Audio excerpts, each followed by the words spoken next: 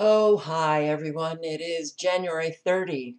January 30 already. Doesn't it feel like it was just New Year's uh, yesterday?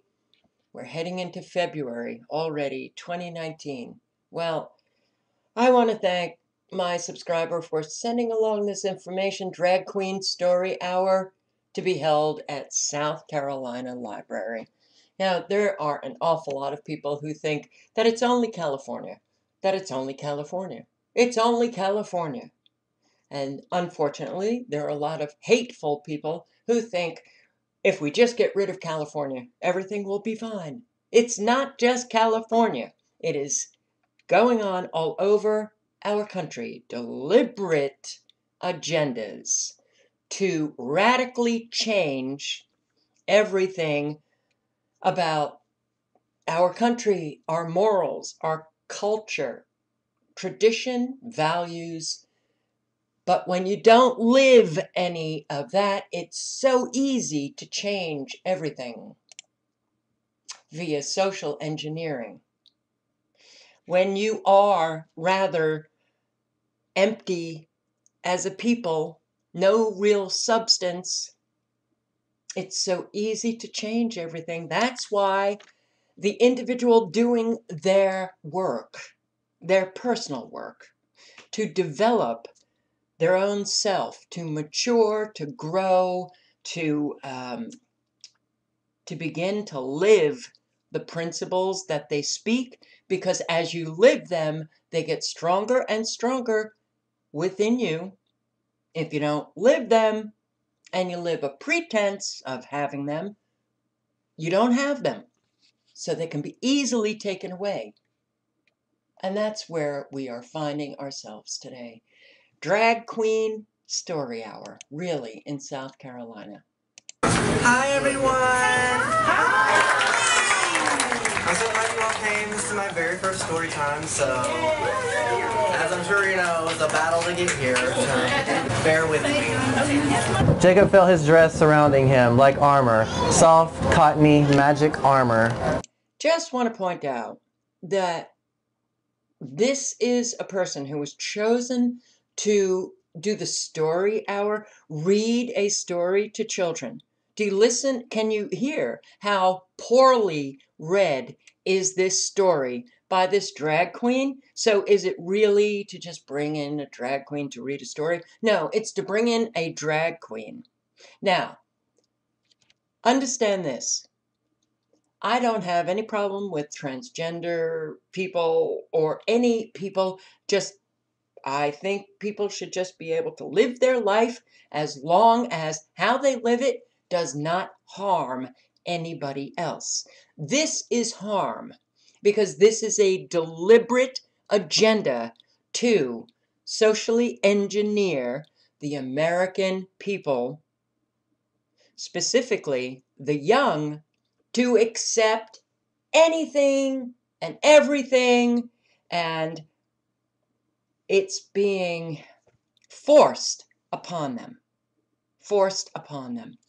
Um, oh my God. And look, I have had transgender uh, subscribers leave comments, uh, gay subscribers leave comments. They are very upset because they can see that this is a deliberate agenda and it's backfiring on them because this kind of agenda promotes an awful lot of animosity because there's an awful lot of people who do not want to see this being promoted to children who are so young. Oh man, it just infuriates me that this is going on and that the parents are, hey, let's just all gather our four year olds to listen to this person read a story to them. This, think about when you were a child, would this not scare you? I made this dress. I'm proud of it, and I'm going to wear it. Jacob sprinted across the playground, his dress spreading out like wings. People of all different colors. People who walk and talk differently. People who look different, like me. The earth is big enough for all kinds of people. I wanted to do drag queen story time. See, this would scare me. I, I in imagining myself as a child, it would really scare me. Like, you know, you don't see women wear their bras outside a sweater. So it would confuse me.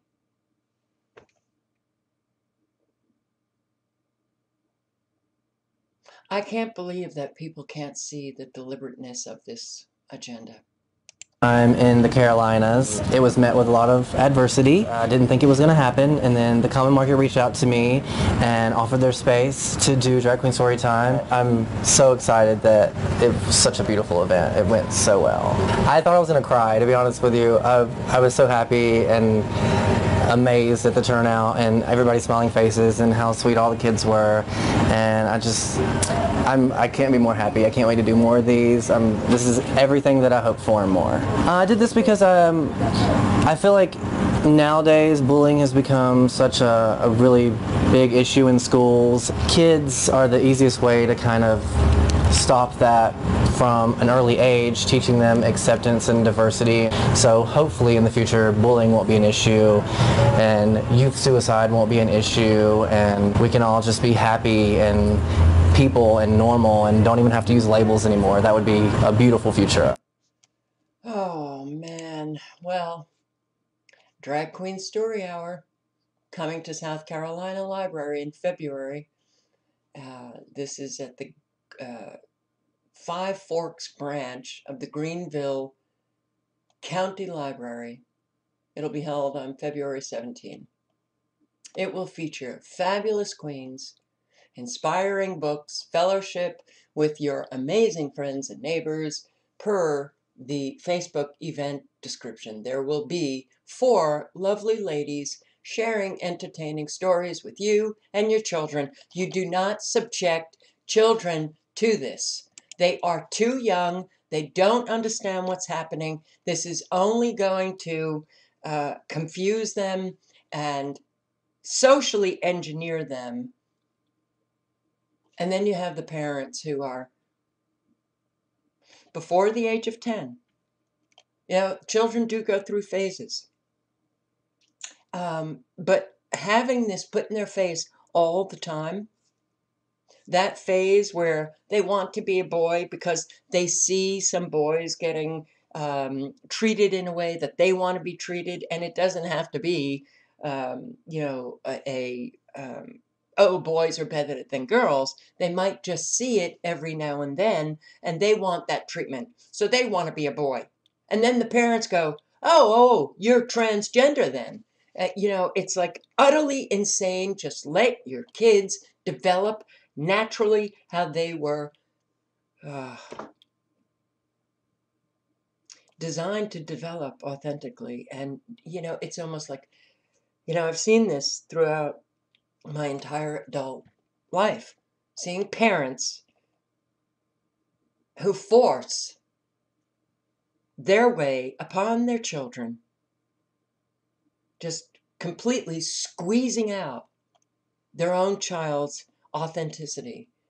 And it's so disturbing because you know that that child is being set on a trajectory to become an adult with so many issues uh, that they don't even know who they are because they've lost their authentic self in childhood. Their parents have snuffed it out. Here, I think people think we are going to be bringing our Saturday night life into the library and we are going to put on like a fabulous drag show. But that's definitely a misconception. No one is there to push an agenda. Are you kidding me? This is absolutely an agenda. And the objective is for Americans to just accept everything. Everything and to demoralize, you know, to, to really cement this moral relativism.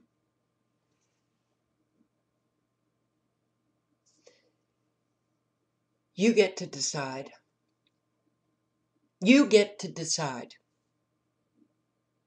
your own morality as if as if we don't have standards bringing your children and allowing your children to go to school where they are subject forced to be in an environment forced to learn about transgenderism public schools are even asking children as young as 5 you know what gender do you want to be?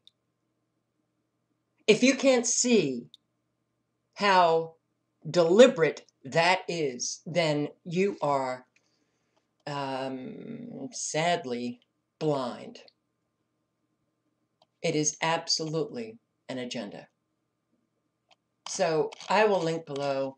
You know, I, I see uh, so many agendas taking place in our country in South Carolina every single time I go to a store, I read the headlines in the newspapers, the local newspapers, and I see Agenda 2030.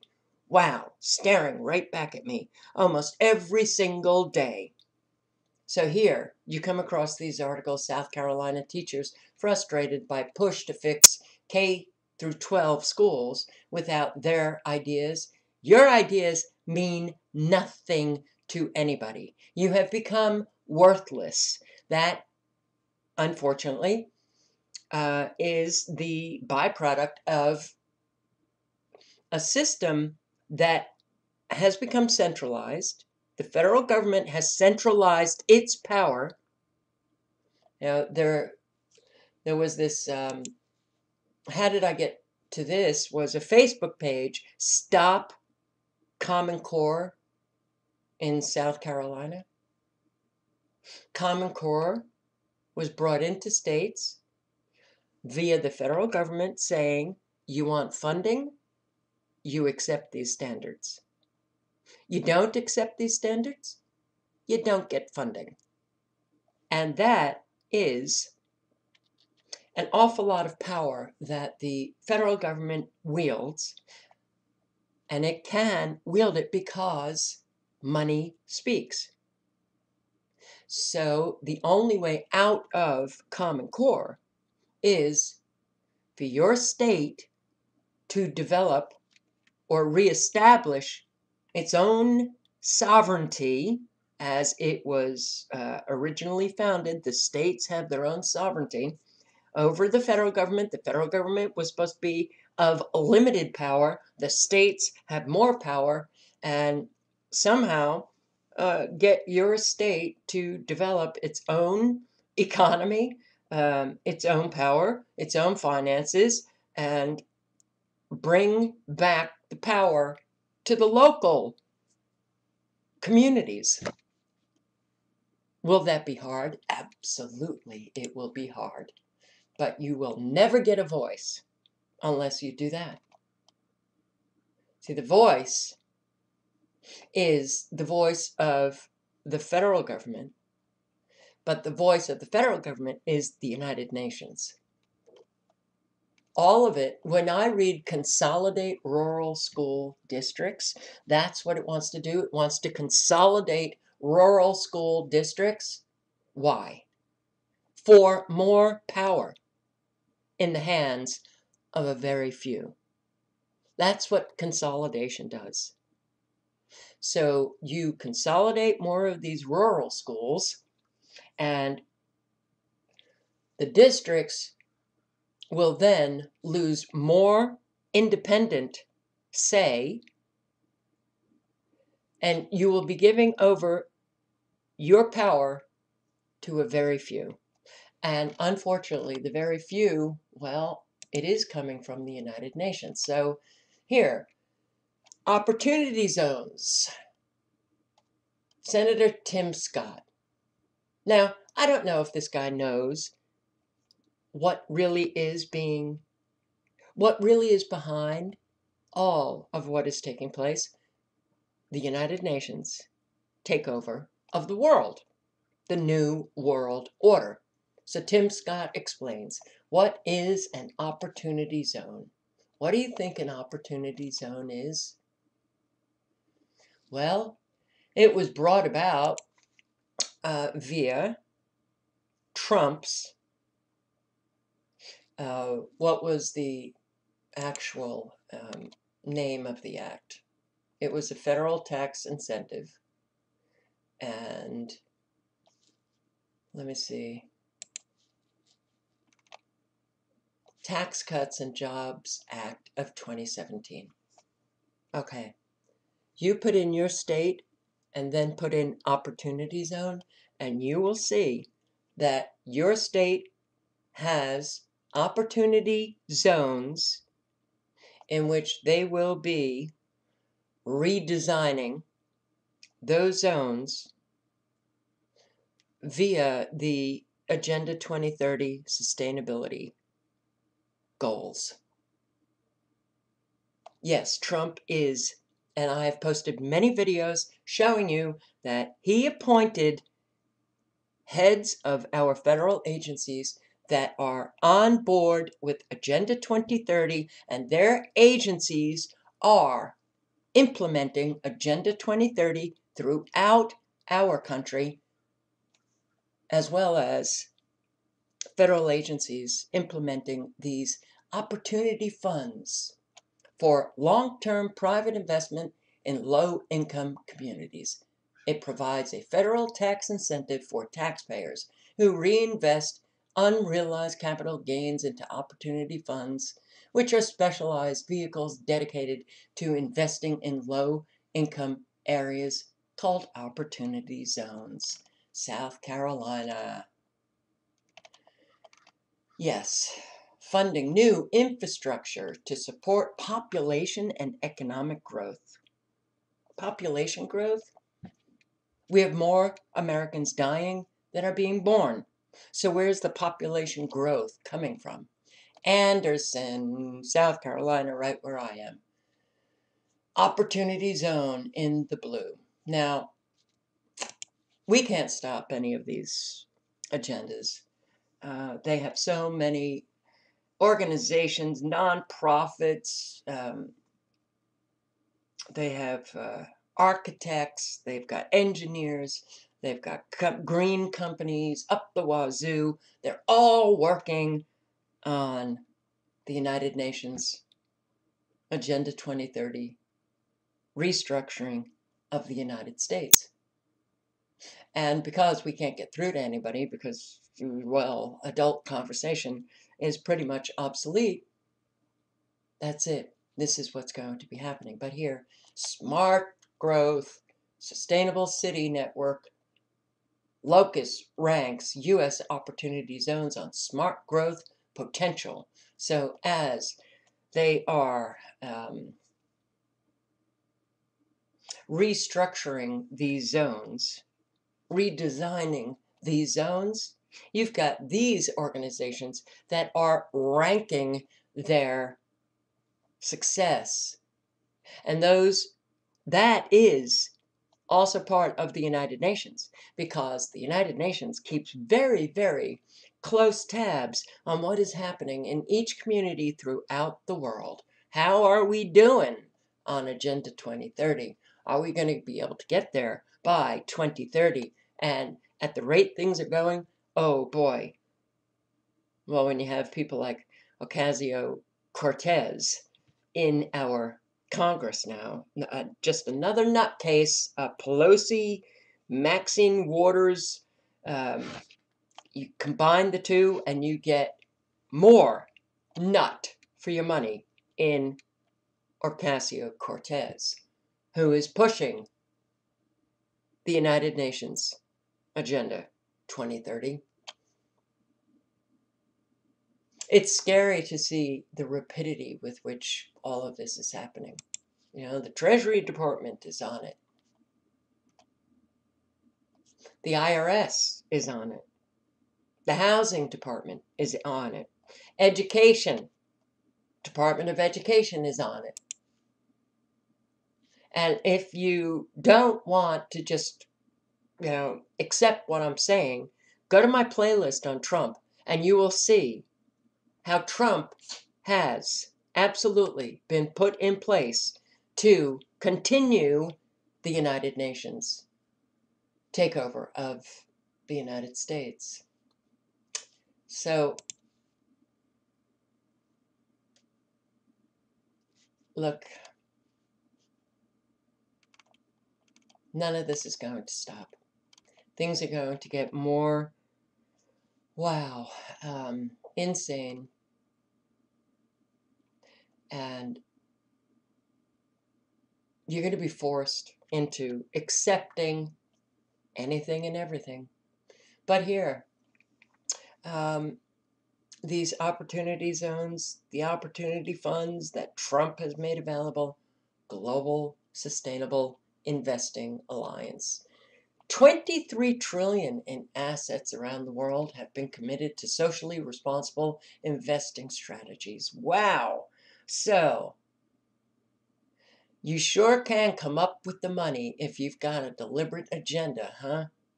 You can't seem to help those who are homeless. You can't seem to help those who can't afford to pay their bills anymore. You can't seem to help those who are homeless, those who have lost their homes due to directed energy weapons being used to take out and bring to dust homes in California.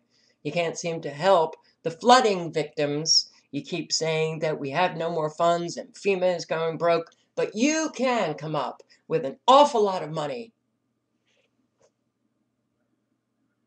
to continue the United Nations plans to take over our country, all countries in the world, to develop their new world order for the very deranged few, the sick, psychopathic, elitist nut jobs. I will link below to everything. It's very sad to see how everything just continues to go on. But to see this in, in South Carolina, okay. yeah, things are really uh, shaping up for utter, utter uh, insanity. Nothing is making any sense. But at least if you get a drag queen into your libraries and you, you know, parents, you want to see this, oh, you're so happy and so happy to subject your children to this. Um, why don't you get someone who can actually read the story in a way that doesn't sound so unbelievably drab and dull? Ciao, guys.